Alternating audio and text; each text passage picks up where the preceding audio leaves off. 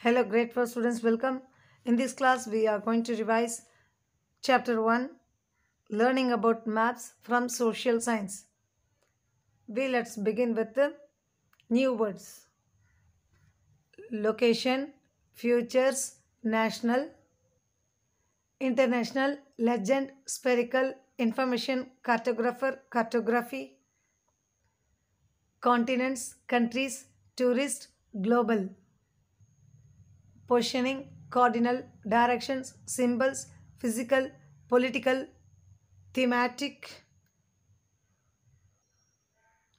population, surface, resembles, represent, weather.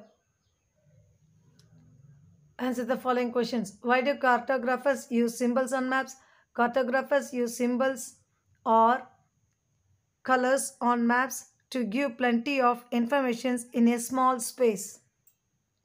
What is a legend? The key or legend is a chart that explains the meaning of the symbols, signs, or colors used on the map.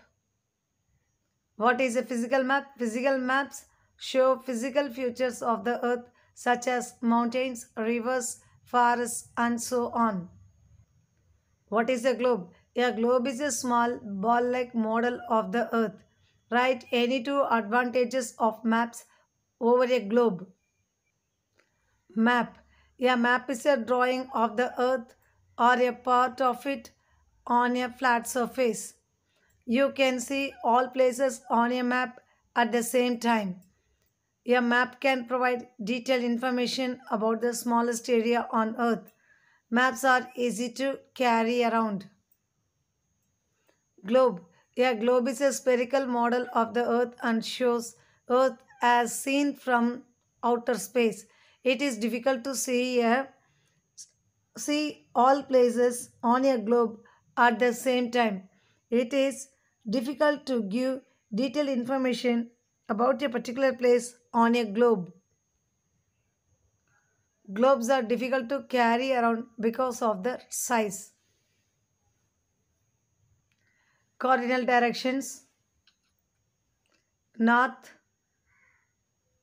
Northeast, East, Southeast, South, Southwest, West, Northeast, sorry, Northwest.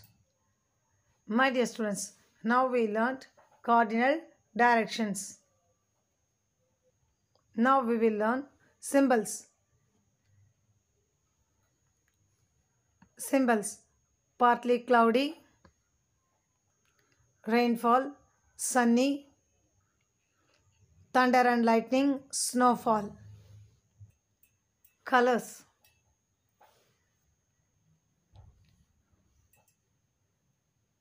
Blue color, oceans, seas, rivers, lakes, green color, plains, yellow color, plateaus, brown color, mountains, mountain ranges, hills. Key or legend, bus station, taxi stand, train station, airport, seaport, apartment.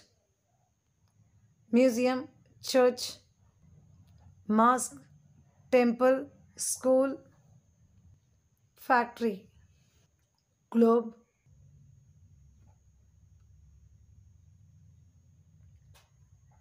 I hope all the students have learnt the pronunciation of the words and you all will practice properly and you will learn to recite fluently.